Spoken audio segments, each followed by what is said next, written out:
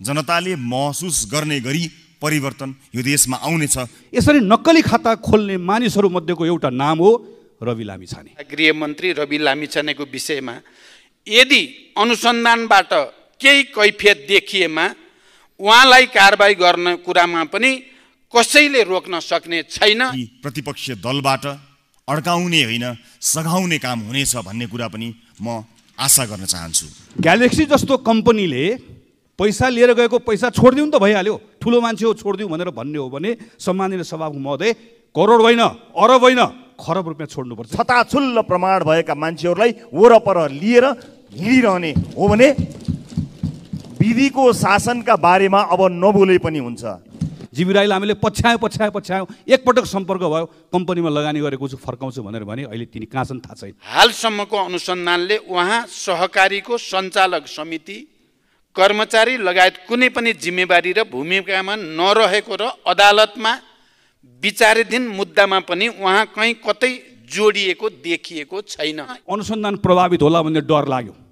डर लाग्यो सम्माननीय सभामुख महोदय फाइल खोल्नु के रहेछ भन्ने कुरा ललिता निवासमा देख्यौँ फाइल खोल्नु के का लागि रहेछ सुनकाण्डमा देख्यौँ। माननीय सभाध्यक्ष महोदय विकास र नेपाली इतिहासको साक्षी बन्ने प्रयत्नमा खडा भएर बसेको हो। यहाँ आउने पात्रहरूले इतिहासमा कति न्याय गरे गरेनन् भन्ने कुराको निर्मम समीक्षा पनि अब सायद गर्न ढिला हुँदैन गर्नु हुँदैन भन्ने हामीलाई लागेको छ। विशेष गरेर म यो गरिमामय संसदमा उपस्थित हुन सक्ने हैसियत प्रदान गर्नुहुने देशैभरिका हाम्रा सम्पूर्ण मतदाताहरूलाई विशेष धन्यवाद दिन चाहन्छु। त्यो जिम्मेवारी दिएर यहाँहरूले पठाइदिनु भएकोमा। अनि एउटा विशेष धन्यवाद हाम्रो दललाई। देशकै सबैभन्दा बढी मतान्तरमा विजयी गराउने चितवन दुईका सम्पूर्ण मतदाताहरूलाई पनि म यसै अवसरमा धन्यवाद दिन चाहन्छु। गरिमामय यो संसदको समयलाई खेर फाल्न चाहन्न त्यसैले केही महत्त्वपूर्ण कुराहरू राख्न चाहन्छु। सभाध्यक्ष महोदय पार्टीका रूपमा एउटा नयाँ पार्टीको उदय नेपालको राजनीतिको इतिहासमा त्यति ठुलो कुरा होइन होला। तर जुन समयावधिभित्र हामीले विश्वास प्राप्त गरेका छौँ त्यो विश्वास एउटा दललाई अथवा त्यस दलका कुनै उम्मेदवारलाई कसैले दिएको मत मात्र होइन। यो मुलुकमा अब परिवर्तन आवश्यक छ भनेर नेपाली जनताहरूले बजाएका घन्टीको ध्वनि हो। यो ध्वनिलाई यो सम्मानित संसदले सुन्नेछ र सिङ्गो देशले सुन्नेछ र यो संसदले नेपाली जनताको हितका लागि र यो मुलुकको हितका लागि त्यसलाई सदुपयोग गर्नेछ भन्ने कुरा म विश्वास राख्न चाहन्छु। सभाध्यक्ष महोदय हामीलाई लाग्ने गरेको एउटा स्याबासीसँगैको लान्छना भनौँ अथवा शङ्का भनौँ कि तपाईँहरूले प्राप्त गर्नुभएको मत यो मत निराशाको मत हो भन्नुभएको छ। तर म यसलाई निराशाको मत होइन। म यसलाई नेपाली जनताले दिनुभएको आशाको मत भन्न चाहन्छु। यो आशाको मत हो। यो आशाको मत केवल हाम्रो दलका लागि मात्र होइन। यो आशाको मत सम्पूर्ण राजनीतिक दलहरूमाथि फेरि पनि गरिएको आशाको मत हो। म त्यसै गरी सबैलाई बुझ्न पनि अनुरोध गर्न चाहन्छु। नेपाली जनताले यसपटक जानेर नजानेर असाध्यै राम्रोसँग मतदान गरेको हामीले पाएका छौँ। हामी जस्ता नयाँ राजनैतिक दललाई पनि नमातिने गरी त्यति सङ्ख्यामा मत दिनुभएको छ र पुराना राजनीतिक दलहरूलाई पनि अब त सचिनुपर्छ होला है भन्ने गरी घटाइदिनु भएको छ। त्यस कारणले यस अर्थमा पनि सचेत गराउने गरी आएको यो मतलाई हामीले स्वागत गर्नुपर्दछ भन्ने म ठान्दछु। जनमत अनुसारको सरकार बनेको कुरा पटक पटक सम्मानीय प्रधानमन्त्रीज्यूले भन्नुभएको कुरा म यहाँ स्मरण गर्न चाहन्छु।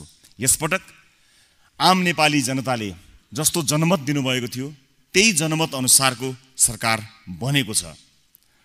हुन त लामो समयदेखि मुलुक प्रतिपक्षविहीन भएको कुरा चुनाव अगाडि हामीले उठाउँदै आएका विषय हुँ प्रतिपक्ष विहीन भयो संसद पनि भन्ने अनि मौका पाउना साथ सरकारमा प्रवेश गरिहाल्ने भन्ने प्रश्न पनि हामीमाझ उब्जिएको छ। तर वास्तविकता त्यस्तो होइन। यसपटक नेपाली नागरिकले दिएको मत त्यसलाई सम्मान गर्दै साझा न्यूनतम कार्यक्रम मार्फत सम्बोधन गर्ने गरी जसरी सरकार बनेको छ त्यो नै जनमतको सच्चा कदर हो जनमतको सम्मान हो भन्ने हामीलाई लागेको छ र त्यसै अनुसार यसपटक सरकार बनेको मैले ठानेको छु।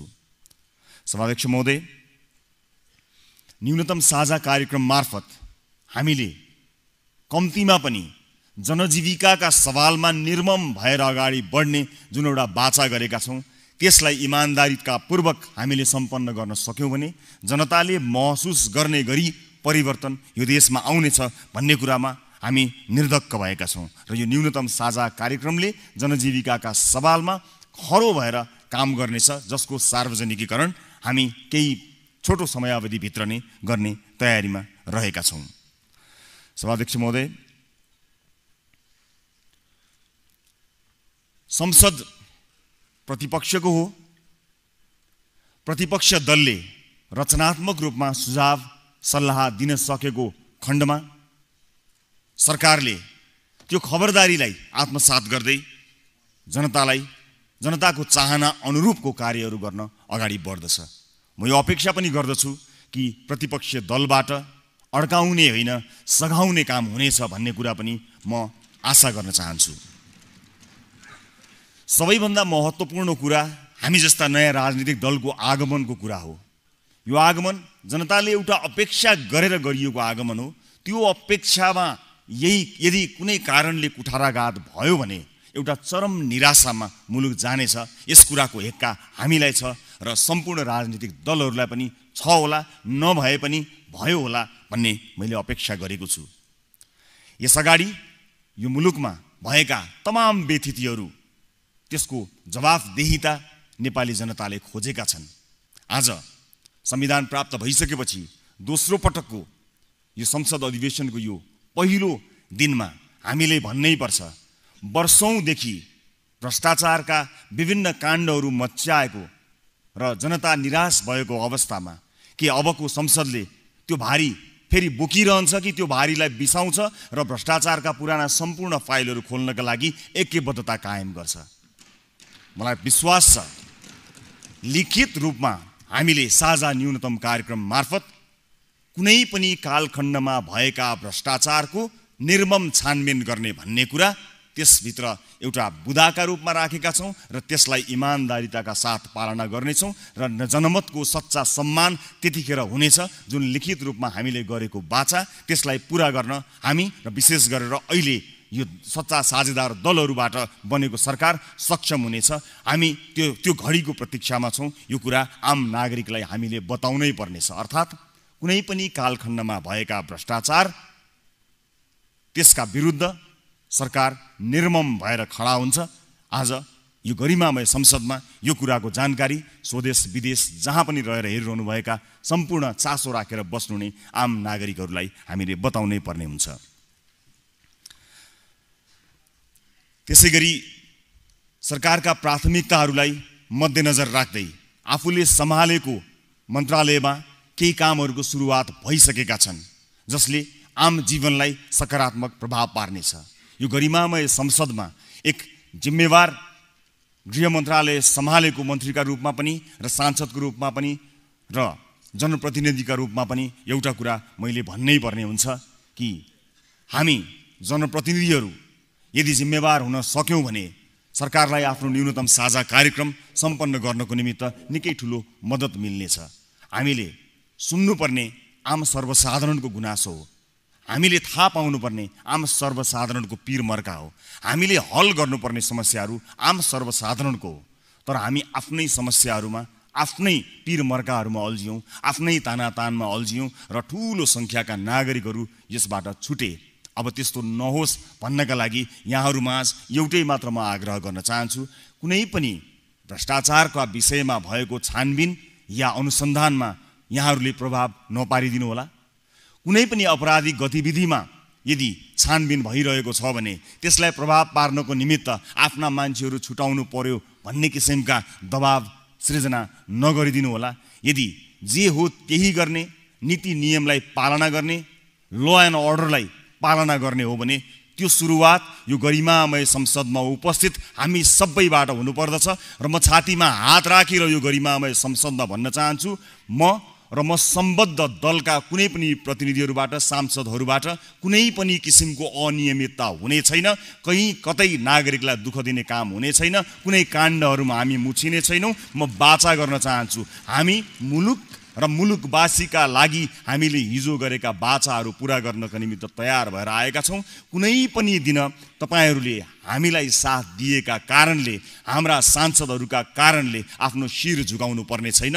मेरो दलका कुनै पनि सांसदहरूले कुनै पनि किसिमको अनियततामा अनियमिततामा आफूलाई सहभागी गराउने छैनन्। यो बाचा र यो जिम्मेवारी म यो गरिमामय संसदको यो गरिमामय रोस्ट्रममा उभिएर छातीमा हात राखेर गर्न चाहन्छु। यो काम हामी कुनै पनि किसिमका अनियमितताको काम हामीबाट हुने छैन। भएको खण्डमा निर्मम भन्दा निर्मम सजाय दिनका लागि तयार भएको बाचा आज यो पहिलो दिनमा यहाँ छातीमा हात राखेर मैले गर्न चाहेको छु।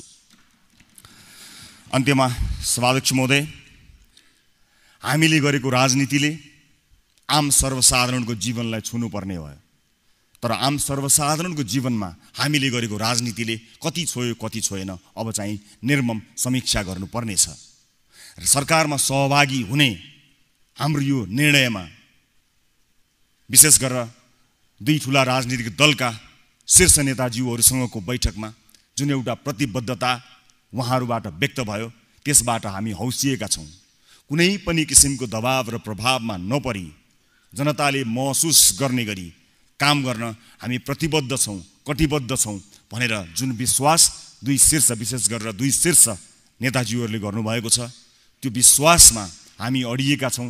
त्यो विश्वास एउटा राजनीतिक दलले अर्को राजनीतिक दललाई गरेको विश्वास मात्र होइन। सरकार बनाउनका लागि सङ्ख्या पुर्याउनका लागि जोडिएको हिसाब मात्र होइन। यो हिसाब नेपाली जनताले खोज्नेछन् र त्यो हिसाब नेपाली जनतालाई बुझाउनको निमित्त यसपटक कुनै कसर बाँकी राख्ने छैनौँ भनेर शीर्ष नेताज्यूहरूबाट जुन वचनबद्धता आएको छ विश्वस्त छु। यो वचनबद्धताले काम गर्नेछ र नेपाली नागरिकले महसुस गर्न सक्ने गरी सरकार अगाडि बढ्नेछ। यस अर्थमा सरकारमा हाम्रो सहभागिता त्यस अर्थमा रहेको छ त्यो प्रतिबद्धताका लागि रहेको छ र हाम्रो तर्फबाट कुनै कमजोरी कमी कमजोरी यो प्रतिबद्धतामा आएको खण्डमा सरकारमा या पदमा लोभमा टाँसिरहने छैनौँ। यो बाछा पनि म सम्मान्य प्रधानमन्त्रीज्यूलाई यहीँबाट गराउन चाहन्छु। हामी आफ्नो कर्तव्य पुरा गर्ने सिलसिलामा कहीँ कतै चुक्यौँ भने त्यो पद र त्यो कुर्सीको लोभमा झुन्निने छैनौँ। यसमा यहाँहरू निर्धक्क हुनुहोला। सत्ता साझेदार सम्पूर्ण दलहरूलाई म यो बाचा पनि गर्न चाहन्छु। अन्त्यमा गरिमामय यो संसदमा आउनुको पछाडि आम सर्वसाधारण नागरिकहरूको अपेक्षा छ माया छ विश्वास छ। त्यो विश्वासको दियोलाई हामी कहिल्यै निम्न दिने छैनौँ। चाहे जतिसुकै ठुलो आँधी हुरी आओस् त्यो दियोलाई बालिराख्नेछौँ जोगाइराख्नेछौँ तबसम्म जोगाइराख्नेछौँ जबसम्म हामीले आम नागरिकलाई गरेको बाचा पुरा गर्न सक्दैनौँ तबसम्म हामी यसलाई जोगाइ नै रहनेछौँ। यो संसदको कार्यकाल मात्र होइन सरकारको कार्यकाल पनि पूर्ण रूपमा सफल हुनेछ भन्ने कुरामा विश्वस्त हुने र त्यसमा आफ्नो तर्फबाट इमान्दार योगदान दिने बाचा गर्दै यहाँबाट बिदा हुन्छु। नमस्कार। सम्माननीय सभामुख महोदय केही समय अगाडि प्रतिपक्षी ठाउँबाट नेकपा एमाले सदनमा एउटा विषय जोरदार ढङ्गले उठायो। सुनको प्रकरणमा शक्तिशाली मानिसहरू संलग्न भएका छन्। त्यसैले प्रहरीको नियमित अनुसन्धानबाट उनीहरू माथिको छानबिन सही टुङ्गोमा पुग्न सक्दैन। शक्तिशाली नेताहरूलाई लुकाउने प्रपञ्च गरिएको रहेछ भन्ने तत्कालीन प्रतिपक्षको आशंका सही साबित भयो। आयोगले प्रतिवेदन बुझाएको छ। भर्खर हामीले समाचार सुन्यौँ कृष्णबहादुर महरा पक्राउ पर्नुभयो। सरकारलाई धन्यवाद छ। यो आयोगले किटान गरेको एउटा मान्छे पनि छुट्नुहुन्न। यसमा हामीलाई हाम्रो सरकारलाई पूर्ण साथ रहन्छ। तलमाथि भयो भने सरकारलाई प्रश्न गर्ने हाम्रो भूमिका छ। तर यसले एउटा सँगसँगै हामीलाई एउटा कुरा सिकाएको छ। त्यो बेलामा नेपाल कम्युनिस्ट पार्टी एमाले प्रतिपक्षको ठाउँबाट यो विषयलाई जोरदार ढङ्गले नउठाएको भए आयोग नबन्ने रहेछ आयोग नबनेको भए सुनकाण्ड फासफुस हुने रहेछ। आज प्रतिपक्षको ठाउँमा हामीहरू छौँ। र यो प्रतिपक्षको ठाउँबाट आज यस्तै गरिकन अर्को एउटा विषय नउठाउने हो भने अर्को एउटा काण्ड फासफुस हुने खतरा देखिएको छ। पशुपतिको अगाडिपट्टि चिया पसल गरेर बस्छन् हरिकृष्ण डङ्गोल मेरो निर्वाचन क्षेत्रको मतदाता हुन्। गएको केही महिना लगातार मेरो घरमा आए सम्मानित सभाको महोदय। अक्षता भन्ने बौद्धको सहकारीमा साठी लाख रुपियाँ पैसा राखेका रहेछन्। यो सहकारी डुब्दैछ भन्ने थाहा पाइसकेपछि उनले मलाई बिन्ती गरे। मेरो कर्तव्य थियो मैले धेरै पछ्याएँ बल्ल बल्ल त्यो सहकारी सञ्चालकसँग मेरो फोनमा सम्पर्क भयो। जग्गामा लगानी गरेको छु दिन्छु भन्यो। अहिले टाप कस्यो फरार छ। मेरो घरको ठिक अगाडि लालबाबु राउत भन्ने रौतडको एकजना सानो मुसलमानको परिवार छ। सपना लज हुने चलाएर बसेका छन्। जीवी राईको स्वर्णलक्ष्मी सहकारीमा नब्बे लाख रुपियाँ जम्मा गरेका। श्रीमान श्रीमती दिनरात मकाएर रुन्थे। उनीहरूको समूह आए। जीवी राईलाई हामीले पछ्यायौँ पछ्यायो पछ्यायौँ। एकपटक सम्पर्क भयो। कम्पनीमा लगानी गरेको छु फर्काउँछु भनेर भने अहिले तिनी कहाँ छन् थाहा छैन। यो प्रतिनिधिमूलक दुईवटा पात्रको मात्र कुरा होइन। यस्ता सयौँ होइन हजारौँको सङ्ख्यामा मानिसहरू छन्। सानसाना काम गरेका मानिसहरू। तिनले जम्मा गरेको अरबौँ रुपियाँ पैसा अहिले यति धेरै ठुलो हिनामिना भएका छौँ यस्तो केही मानिसहरूले लुटपाट मचाउँदै गर्दा यी मानिसहरू सडकमा आइपुगेका छन् बिच्चली भएका छन्। यिनै सहकारीहरू मध्येको एउटा सहकारी हो पोखराको सूर्यदर्शन सहकारी। करिब उन्नाइस हजार मानिसको एक अरब पैँतिस करोडभन्दा बढी पैसा त्यहाँभित्र अपचलनमा परेको छ। पोखरा महानगरपालिकाले अध्ययन गर्यो। अध्ययनको उनानब्बे पेजको रिपोर्ट निकाल्यो। रिपोर्टमा भन्यो सयजना मानिसहरूले नक्कती नक्कली खाता खोलेर करिब करिब एक अरब पैँतिस करोड रुपियाँ अपचलन गरेका छन्। त्यो रिपोर्टको अठहत्तरौँ पृष्ठमा के भन्छ भने यसरी नक्कली खाता खोल्ने मानिसहरूमध्येको एउटा नाम हो रवि लामी छाने। माननीय गृहमन्त्री रवि लामी छाने माननीय हुनुहुन्छ भोलि प्रधानमन्त्री बन्नु होला शुभकामना छ बन्न पनि सक्नुहुन्छ। अलग विषय हो। तर रवि लामी छाने एक करोड रुपियाँ लिनुभएको छ सहकारीको सदस्य हुनुहुन्न। स हाम्रो का कानुनको दफा पचासले भन्छ यो गैर कानुनी छ। मैले उहाँको स्पष्टीकरण सुने तिन मिनट बिस सेकेन्डको थियो। मैले राम्रोसँग सुने। मैले पढेँ पनि। स्पष्टीकरणमा भनिएको छ कसैले मेरो नाम लग्यो होला मलाई थाहा छैन। सहकारीको सदस्य होइन कसैले मेरो नाम लग्यो होला। यदि यस्तै मान्ने हो भने सम्माननीय सभामुख महोदय सयजनै मानिसहरूको मैले रिपोर्ट पढेँ। सयजनै मानिसहरूले लगेको एक अरब रुपियाँ लगेको प्रकृति ठ्याक्कै यही हो। कसैको धितो छैन कोही सहकारीको सदस्य होइन कुनै प्रक्रिया पुऱ्याइएको छैन। एक अरब झ्वाङ यसरी छोडिदिने हो भने एकजनालाई मात्र छोडेर हुँदैन अब। सबैलाई छोड्नुपर्छ। एउटा सहकारीको मात्र छोडेर हुँदैन सबै सहकारीकोले छोड्नुपर्छ। सरकार यो गर्न तयार हो? मेरो प्रधानमन्त्रीले यो प्रश्न छ। मेरो दोस्रो प्रश्न एउटा ग्लोबल गोर्खा मिडिया नेटवर्क भन्ने छ। यसले पचासौँ करोड रुपियाँ लिएर गएको छ सूर्यदर्शन सहकारी सुप्रिम सहकारी यसै गरिकन यो सहारा सहकारीबाट। हाम्रो कानुनले भन्छ दफा तिसले नाफा कमाउने कम्पनीले लान पाउँदैन गैर कानुनी भइहाल्यो। यो कम्पनी सञ्चालन गर्ने मान्छेलाई हाम्रो हाम्रो एक सय बाइसले पनि भन्छ फौजदारी संहिताले पनि भन्छ अपराध भइहाल्यो। यसले कति लगेको छ? पचासौँ करोड लिएर गएको छ। यो कम्पनीको सेयर होल्डर को? जिबी राई रवि लामी छाने मैले यहाँ पनि रवि लामी छानेको स्पष्टीकरण सुने। यो एघार मिनट त्रिसठी सेक एघार मिनट त्रिपन्न सेकेन्डको थियो। स्पष्टीकरण सुने। स्पष्टीकरण सुनिसके पछाडि मेरा तिनवटा प्रश्नहरू रहे जो म प्रधानमन्त्रीलाई सोध्छु। अठहत्तर वैशाखदेखि उनासी ज्येष्ठसम्म जतिखेर यसको सञ्चालक श्री रवि लामी छाने पनि हुनुहुन्थ्यो त्यो बेलामै सहकारीबाट दसौँ करोड लगिएको छ जबकि एक सुक्का पनि लान पाइन्न। यो कम्पनी अहिले डुबिसक्यो। स्पष्टीकरणमा भनिएको छ कि मैले पैसा हालेको पनि छैन मैले पैसा फिर्ता लिएर गएको पनि छैन। बुटोलको सुप्रिम सहकारीबाट एक करोड रुपियाँ लिएर गइएको छ यो पनि गैर कानुनी छ। मैले फिर्ता लगिएको छैन भनेर भनिएको छ। कम्पनी रजिस्ट्रार कार्यालयमा तमसुक गरेर एक करोड अस्सी लाख रुपियाँ लिएर आएको तमसुकको सरकारी कागज बाहिर प्रमाणको रूपमा आएको छ। यो पनि गैर कानुनी छ। ग्यालेक्सी जस्तो कम्पनीले पैसा लिएर गएको पैसा छोडिदिउँ त भइहाल्यो। ठुलो मान्छे हो छोडिदिउँ भनेर भन्ने हो भने सम्मानित सभामुख महोदय करोड होइन अरब होइन खरब रुपियाँ छोड्नुपर्छ। किनकि प्रधानमन्त्रीले अस्ति रोस्टरमा उभिएर बोल्नुभएको कार्यदलको रिपोर्टले नै के भन्छ भने यस्तै कम्पनीहरूमा गएर अरबौँ रुपियाँ पार्क भयो यो कम्पनीहरूबाट पैसा जफत नगरिकन यस्ता मानिसहरूको पैसा फिर्ता गर्न सकिन्न। यो अरबौँ रुपियाँ छ। हजारौँ मानिसहरूको कुरा हो। कुनै एउटा व्यक्तिको कुरा होइन सम्मानित सभामुख महोदय। यो अनुसन्धानको विषय बन्छ कि बन्दैन? हाम्रो प्रधानमन्त्रीलाई प्रश्न यही हो। प्रधानमन्त्रीले हिजो पोखरामा भन्नुभएछ अनुसन्धान गर्ने हो। तर हाम्रो प्रश्नको अनुसन्धान कसले गर्ने हो? सम्मानित प्रधानमन्त्रीज्यू हामीले देख्यौँ नि त सभामुख महोदय मार्फत मेरो प्रश्न हो। सुनकाण्ड भर्खर हामीले हेरौँ सुनकाण्डमा के भयो? प्रहरीले अनुसन्धान गर्दाखेरि शक्तिशाली मान्छेलाई लुकाउँदो रहेछ। भर्खर देखियो। प्रहरीले भएको भए कृष्णबहादुर महरा वा यस्ता लगायतका शक्तिशाली नेताहरूको त नामै नपर्ने रहेछ। भने यहाँ त गृहमन्त्री आफै मुसिनु भएको छ। यसको अनुसन्धान कसरी हुन्छ यसको विश्वास हामीले कसरी गर्ने हो सभाको मैले मैले सकाएँ जीवी राई लगायतको ग्रुप जुन छ जसमा दिपेश पुन अहिले पक्राउ परेर बुटोल लिएर गइएको छ यो समूहले अरबौँ रुपियाँ अपचलन गरेको छ र त्यसमध्येको सबैभन्दा धेरै ठुलो पैसा ग्यालेक्सी यही गोर्खा मिडिया ग्यालेक्सी टेलिभिजनमा गएर गएको छ। र मैले थाहा पाएसम्म अरू थुप्रै शक्तिशाली नेताहरूको पनि नाम आउँछ। यदि राम्रोसँग अनुसन्धान हुने हो भने। त्यसैले अनुसन्धान अहिले नियमित ढङ्गले अहिलेको प्रहरी प्रशासनले यसरी गर्न सक्छ भन्ने कुरा हामीले कसरी पत्याउने? त्यसैले हाम्रो यति नै मात्रै माग। सहकारीमा जसले ठगी गरेको छ फेयर ढङ्गले अनुसन्धान होस्। कुनै एउटा प्रमाण नाश नहोस्। एउटा पनि प्रमाण नष्ट नहोस्। अहिले प्रमाणहरू छ प्रहरीसँगै छ।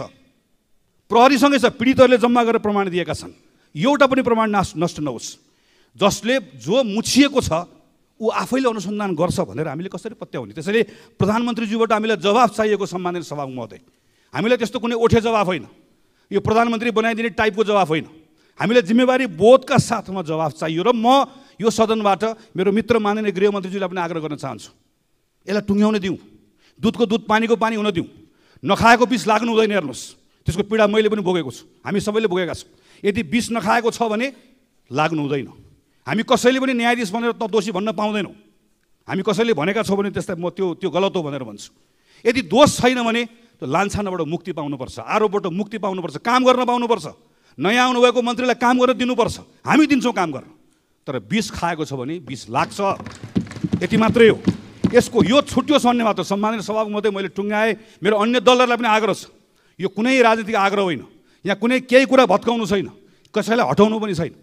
यहाँ सुप्रिम इमेज शिवदर्शन यस्ता खालका सयौँ सहकारी जसका तपाईँ हाम्रा मतदाता छन् हजारौँ छन् लाखौँ छन् तिनको पैसा फिर्ता गराउन सक्ने कि नसक्ने भन्ने तपाईँ हाम्रो प्रश्नको कुरा मात्रै हो। यो पैसा फिर्ता गराउने कुराको सन्दर्भमा अनुसन्धान सुरु भएको थियो। अहिले किन बोलिस् भन्नु होला बोल्दै आएको। अनुसन्धान प्रभावित होला भन्ने डर लाग्यो। डर लाग्यो सम्मानित सभाको महोदय। त्यो अनुसन्धान प्रभावित। म सकाएँ। सकाएँ। त्यसैले संसद नेपाली कङ्ग्रेसलाई संसद बन्द गर्नुहोस् हामीलाई सम्मानित सभाको महोदय। आग लागेको विषय छ गुठी पीडितको विषय छ। कति विषय उठाउनु छ हामीलाई यहाँ? यो संसद सबभन्दा बढी अहिले हामीलाई चाहिएको छ। संसद बन्द हामीलाई होइन। संसद खुला चाहिएको छ। तर संसदको त्यो रोस्टममा प्रधानमन्त्री चाहिएको छ जवाफका साथ चाहिएको छ। हामीले खोजेको यति मात्रै हो। र अन्त्यमा सम्मानित सभाको महोदय भुटानी शरणार्थी प्रकरणको विषय थियो। ऊ त्यो रोस्टममा उभिएर बोलेको। हुँ खुट्टा नकमाऊ सरकार। नेता होस् कि नाता होस् नछोड भनेको। सुनकाण्डको बेलामा नेकपा एमालेको साथीले कुरा उठाउँदै गर्दाखेरि आयोग बनाउने कुरामा साथ दिएको। अनि अस्ति भर्खर मात्रै अख्तियारले अनुसन्धान गरेको मन्त्रीलाई मन्त्रीबाट हटाउ भन्दै गर्दा घर पठाइदियो भनेर बोलेको। तर यो बोल्दै गर्दा सत्ता पक्षमा थिएँ म। सत्ता पक्षमा थिएँ। सिङ्गो सत्ता पक्ष उभियो कि उभिएन हेरिनँ मैले। आज म विश्वास गर्छु। मैले कुरा टुङ्गाइसकेपछि सत्ता पक्षबाट कोही उठ्नुहुन्छ र बोल्नुहुन्छ र भन्नुहुन्छ। नक्कली भुटानी शरणार्थी प्रकरण बाँसबारी छाला जुत्ता प्रकरण टेरामेक्स एनसेल सुनकाण्ड एउटा काण्डमा पनि संलग्न भएको एकजनाले पनि उन्मुक्ति नपाओस्। दाहिने बस्ने होस् कि देब्रे बस्ने होस् कसैले नपाओस्। नेता होस् कि नाता पर्ने होस् कसैले नपाओस्। रुखको छारी मुनि बस्ने होस् कि घाम ताप्ने होस् कि हँसी अथौडा बोक्ने होस् कि घन्टी बजाउने होस् कसैले पनि नपाओस् भन्ने हिम्मत हामी राख्छौँ कि राख्दैनौँ। अनि यी काण्डहरूको कुराकानी गर्दै गर्दा सहकारी काण्डमा पनि शक्तिशाली होस् लोकप्रिय होस् नयाँ होस् तर गल्ती गरेको रहेछ भने अपराधबाट मुक्ति नपाओस्। यो यति भन्ने हिम्मत हामी राख्छौँ कि राख्दैनौँ यो सदनलाई प्रश्न पनि हो यो। सबैलाई प्रश्न पनि हो यो। कुनै एउटा पक्षको कुरा होइन। सिङ्गो सदनको विवेकमाथिको प्रश्न पनि हो यो। सम्मानित सभाको महोदय त्यसैले म नेपाली कङ्ग्रेसको तर्फबाट आग्रह गर्न चाहन्छु यो विषय गम्भीरतापूर्वक उठाएका छौँ। हामी यसको जवाफ सम्माननीय प्रधानमन्त्रीजीबाट चाहन्छौँ। सम्माननीय सभाको महोदयलाई पनि मेरो अनुरोध छ यो प्रश्नलाई यतिकै मर्न नदिउँ र एउटा विश्वास चाहिएको छ हामीलाई। यसको अनुसन्धान फियर हुन्छ भन्ने कुराको विश्वास चाहिएको छ। अनुसन्धान फियर हुन्छ भन्ने कुराको हामीलाई विश्वास प्रधानमन्त्रीले कसरी दिलाउनुहुन्छ? हामी त्यो सुन्न चाहन्छौँ। हामी कहीँ कतै कुनै बखडा झिक्न चाहँदैनौँ। हामी कहीँ कतै सरकारलाई अप्ठ्यारो पार्न चाहँदैनौँ। हामी कहीँ कतै सदनलाई अप्ठ्यारो पार्न चाहँदैनौँ। सदन चल्ने मात्र होइन। पहिलाभन्दा अझ दुई गुणा चलोस् चाँडो चाँडो कानुन बनोस्। हामी साथ दिन चाहन्छौँ। हामी सँगै हिँड्न चाहन्छौँ। तर हामीले उठाएको यो प्रश्न के? यो नाजायज छ। के यो प्रश्न नेपाली कङ्ग्रेसले उठाएको प्रश्न के? हाम्रो निजी प्रश्न हुन्। ती सडकमा बसेका हजारौँ सहकारी पीडितहरू तिनले पैसा फिर्ता पाउनु पर्दैन। तिनको पैसा फिर्ता पाउने कुराको ग्यारेन्टी होस्। धन्यवाद। जय नमस्कार। जय नेपाल। मानी सदस्यहरूबाट विगतका र आजको बैठकमा पनि उठेका विषयहरूमा हामी सबै जानकार नै छौँ। सदनमा नेपाल सरकारको उपस्थिति रहने भएकोले उल्लेखित विषयहरूमा नेपाल सरकारको ध्यान आकर्षण भएकै छ। साथै यस विषयमा मेरो पनि गम्भीर ध्यान आकर्षण भएको बेहोरा म जानकारी गराउँछु।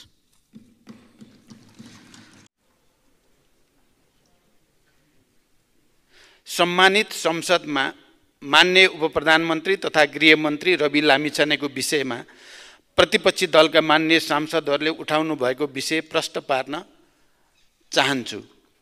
मैले यो विषयलाई गतकालमा पनि मिडिया ट्रायल विभिन्न रूपमा चर्चा परिचर्चा हुँदै आएको थियो।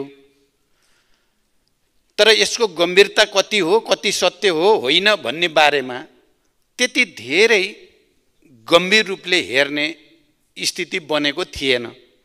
तर अहिले सदनमा नेपाली कङ्ग्रेस जस्तो लामो संसदीय अनुभव र इतिहास भएको पार्टीले यति गम्भीर रूपले उठाएपछि मैले पनि यसको जवाफ दिनुपर्ने सन्दर्भमा आफैले यसको बारेमा खोजबिन गर्ने सम्बन्धित सरकारी निकायका रिपोर्टहरू र भनाइहरू चाहिँ अलि गहिरो गरी अध्ययन गर्ने मैले कोसिस गरेँ। त्यसको आधारमा म यो सम्मानित संसदमा आफ्नो कुरा राख्न चाहन्छु। मेरो सरकारको पहिलो प्राथमिकता नै सुशासन रहेको र सुशासन कायम गर्ने विषयमा कुनै पनि सम्झौता नहुने मैले यस सम्मानित सदनमा विश्वासको मत लिने क्रम र अन्य सन्दर्भमा पनि बडो स्पष्टसँग राख्दै आएको छु। सुशासनको सङ्कल्प लिएरै मैले सरकारको नेतृत्व गरेदेखि नै ठुल्ठुला भ्रष्टाचार सुन तस्करी जग्गा हिनामिना लगायतका काण्डहरूको छानबिन भइरहेको र यसैलाई यसलाई अझ प्रकार प्रभावकारी बनाउँदै अगाडि बढेको तथ्य पनि म यो सम्मानित सदनलाई जानकारी गराउन चाहन्छु। यसमा मैले कसैलाई काखा कसैलाई पाखा होइन दोषी जोसुकै भए पनि त्यो नछुटोस् निर्दोष नपरोस् भन्ने मान्यतालाई दृढताको साथ पालन गर्दै पनि आएको छु। मैले लामो व्याख्या गर्नु पर्दैन। हालैका सबै घटनाक्रमहरूले पनि त्यो कुरालाई पुष्टि गरिरहेकै छन्। जहाँसम्म मान्य उप प्रधानमन्त्री तथा गृहमन्त्री रवि लामिछानेका विषयमा प्रतिपक्षी दलहरूले उठाउनु भएको कुरा छ हालसम्मको अनुसन्धानले उहाँ सहकारीको सञ्चालक समिति लेखा समिति ऋण समिति कर्मचारी लगायत कुनै पनि जिम्मेवारी र भूमिकामा नरहेको र अदालतमा विचाराधीन मुद्दामा पनि उहाँ कहीँ कतै जोडिएको देखिएको छैन। सूर्य दर्शन बचत तथा सहकारी संस्थाका एक हजारभन्दा बढी बचतकर्ताले आफ्नो रकम हिनामिना गरेको भन्दै दुई हजार असी साउन बाइस गते गरेको जाहेरी दरखास्तमा कसैको नाम किटिएको थिएन। यो दरखास्त उप प्रहरीले अनुसन्धान गरी बुझाएको प्रतिवेदनका आधारमा सहकारीको रकम हिनामिना गर्ने कार्यमा संलग्न भएको अभियोगमा उन्नाइसजनालाई प्रतिवादी कायम गरी कास्की जिल्ला अदालतमा दुई हजार असी असोज अठार गते मुद्दा दायर गरेको तथ्य स्पष्ट छ। जुन अदालतमा अझै पनि विचाराधीन छ ती उन्नाइसजना मध्ये चारजना पक्राउ परेका छन् भने बाँकीको प्रहरीले खोजी गरिरहेको छ। मूल उजुरी परेको मूल उजुरी परेको छ महिनापछि माघ सोह्र गते कास्की जिल्ला प्रहरी कार्यालयमा पूरक जाहेरी दिइएको थियो जसमा मान्य रवि लामिछाने समेत अठार व्यक्ति तथा कम्पनीलाई विपक्षी बनाई जाहेरी दिइएको थियो। मूल उजुरीपछि थप प्रमाणहरू भेटिएमा पूरक जाहेरी दिई अनुसन्धान गर्ने सकिने प्रावधान हुन्छ नै तर उक्त जाहेरीमा उहाँ सहकारी हिनामिनामा संलग्न भएको कुनै आधार र प्रमाण केही पनि पेस गरिएको छैन। एकपटक अनुसन्धान सकिएर अदालतमा मुद्दा दायर भइसकेको मुद्दामा यस्तो आधार प्रमाण बिनाको जाहेरी पुनः दर्ता गर्न आवश्यक नै हुँदैन सामान्यत। त्यसैले प्रहरीले कानुन बमोजिम नै उक्त जाहेरी छुट्टै दर्ता गर्न समेत उपयुक्त ठानेन र दर्ता गरेन। फेरि उहाँको नाममा प्रवाह भएको भनिएको ऋण फर्चुट भएको देखिन आएकोले उहाँको हकमा अनुसन्धान गर्नुपर्ने नदेखिएको भन्ने प्रहरीबाट ब्रिफिङ पनि प्रष्ट शब्दमा भएको थियो। यो विषय उहाँ सरकारमा आउनुभन्दा अगाडिको विषय हो। त्यति बेलाको सरकारमा त अहिलेका प्रतिपक्ष नेपाली कङ्ग्रेस स्वयं सहभागी हुनुहुन्थ्यो। त्यति बेलाको यो विषय हो। मान्य उप प्रधानमन्त्री तथा गृहमन्त्री रवि रवि लामिछानेजीको पार्टी सरकारमा सह सहभागी हुने चर्चा चलेपछि सरकारमा सहभागी भएपछि यो विषयलाई संसदको नियमित काम कारबाही प्रभावित हुने गरी उठाउनु कति जायज छ या छैन भन्ने विषय स्वयं प्रतिपक्षी दलका मान्य सदस्यहरूले बुझ्नुपर्ने विषय हो भन्ने मैले ठानेको छु। म फेरि पनि म फेरि पनि जोड दिएर भन्न चाहन्छु सुशासन कायम गर्ने सवालमा म कुनै पनि सम्झौता गर्दिनँ। यसमा आफ्नो पार्टी र अरूको पार्टी भन्ने आग्रह र प्रवाग्रह पनि मैले राखेको छैन र आउने दिनमा पनि कुनै हालतमा राख्ने छैन। यदि अनुसन्धानबाट केही कैफियत देखिएमा उहाँलाई कारवाही गर्ने कुरामा पनि कसैले रोक्न सक्ने छैन यो कुरा पनि म प्रष्टसँग राख्न चाहन्छु। मुद्दा बुझाइसक्दासम्म उहाँको नाममा उजुरी निवेदन केही छैन। उजुरी पर्नासाथ राजीनामा दिने हो भने के हुन्छ? ठाडो उजुरीमा ठाडो उजुरी दर्ता हुनासाथ राजीनामा दिने सहमति हामी गर्न सक्छौँ त? होइन गृहमन्त्रीबाट चाहिँ हटाऊ। मुद्दा प्रभावित हुन्छ भन्न खोज्नु भएको हो भने प्रभावित पार्नेले अर्को मन्त्रालयमा बसे पनि प्रभावित पार्ला। सरकारमा बसे मात्रै पनि प्रभाव पार्न सक्ला। त्यसैले यो विषयलाई राजनीतिकरण नगर्न म अनुरोध गर्न चाहन्छु। लामो लामो संसदीय अभ्यासको अनुभव भएको नेपाली कङ्ग्रेस जस्तो पार्टीले यस्तो विषयलाई अनावश्यक राजनीतिकरण गर्नुभन्दा देशमा विद्यमान अन्य महत्त्वपूर्ण राजनीतिक विषयमा सदनलाई बहसमा ल्याउन म अपिल गर्न चाहन्छु। नेपाली कङ्ग्रेस लगायत प्रतिपक्ष दलका मान्य सदस्यहरूलाई यो विषयमा मैले यति प्रतिबद्धता व्यक्त गरिसकेपछि अब सदन सुचारू गर्न सहयोग गर्नुहुनेछ भन्ने विश्वास पनि म व्यक्त गर्न चाहन्छु। धन्यवाद।